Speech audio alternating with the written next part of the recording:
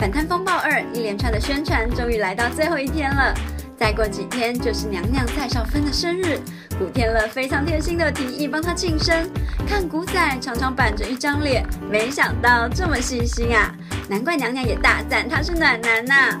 真没想过哎，昨天他叫所有影院的人跟我说 Happy Birthday 的时候，我已经非常高兴了。我觉得他们太个。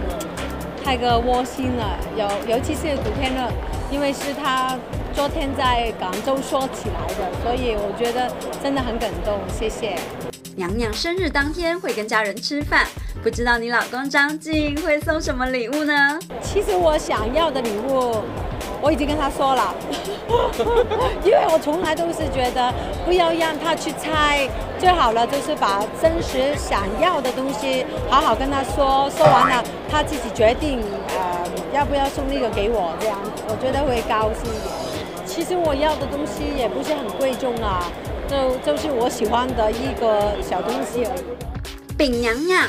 在娘娘外出宣传期间，张晋居然带着女儿玩高难度杂耍，哎，他也发过给我看，然后我就觉得哇，好厉害哎，我佩服我女儿的的的那个勇气，因为其实要站在上面，没有什么辅助啊，是挺那个要胆量才可以做到，然后我觉得也佩服爸爸那个手手的那个。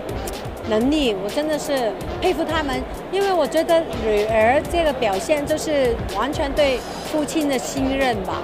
说回这次的演员阵容，其实都是 TVB 出身，这么久没一起工作，有擦出什么新火花吗？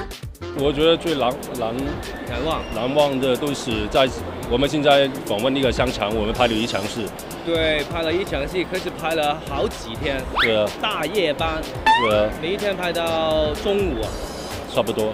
对啊，所以现在看见这里都有点恐惧。主角之一的周渝民没来宣传，有没有觉得很可惜呀？其实好像他刚上上完小孩子，他要带孩子会比较紧张了。他第一次当爸爸，我们都明白的。对对。而且希望这个戏有庆功宴吧？对啊，对不对？那个时候请他来跟我们一块吃饭就好了。